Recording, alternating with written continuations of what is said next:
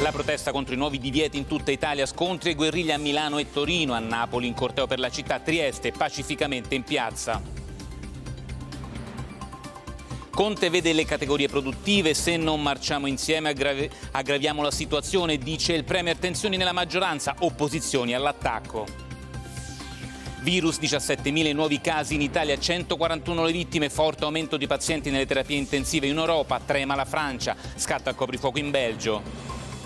Stati Uniti, il nuovo giudice della Corte Suprema è la conservatrice Barrett che dice sarò indipendente. Un giorno storico per Trump, contrari democratici. Il rapporto Migrantes sugli italiani nel mondo, l'allarme della CEE, Italia sempre meno giovane ed entusiasta, il cardinale Bassetti, bene i nuovi decreti sicurezza. C'è acqua sulla Luna, nella faccia rivolta verso la Terra, una spinta alla missione per riportare l'uomo sul satellite. Vent'anni fa i primi astronauti sulla stazione satellitare spaziale internazionale.